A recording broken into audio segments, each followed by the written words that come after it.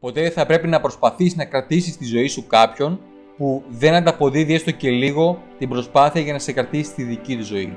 Οι σχέσεις, είτε είναι προσωπικές, είτε είναι επαγγελματικές, είτε είναι φιλικές, είναι ένας δρόμος διπλής κατεύθυνσης. Το να αποτελεί κάποιο σημαντικό μέρος της ζωής σου θα πρέπει να είναι ένα προνόμιο που έχει κερδιθεί. Δεν θα πρέπει να θεωρείται κάτι δεδομένο. Οι άνθρωποι που δεν θα βάλουν αμοιβαία προσπάθεια να σε κάνουν προτεραιότητα στη ζωή τους, δεν αξίζει να είναι μέρος της δικής σου ζωής. Δεν σημαίνει απαραίτητο ότι θα πρέπει να είσαι η πρώτη τους προτεραιότητα, αλλά χρειάζεται να είναι αμοιβαία η προσπάθεια. Το να κρατάς ανθρώπους στη ζωή σου που δεν σε εκτιμούν και δεν σε σέβονται έχεις ω αποτέλεσμα να προσκαλείς περισσότερα από τα ίδια. Οπότε, όσο πιο γρήγορα μπορέσεις να αναγνωρίσεις και να εξαλείψεις αυτούς που σου σπαταλάνε τον χρόνο, αυτούς που θέλουν να σε εκμεταλλευτούν και αυτούς που δεν τους νοιάζει παρά μόνο να παίρνουν, τόσο πιο εύκολη και αβίαστη θα είναι η ζωή σου και η σχέση σου.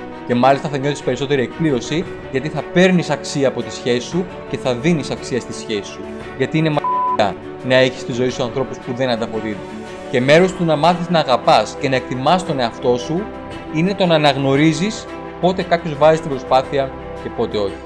Δεν σημαίνει ότι θέλεις το κακό τους, ευχήσου τους να πάνε στο καλό και προχώρα με τη ζωή σου. Προφανώς δεν υπάρχει συμβατότητα.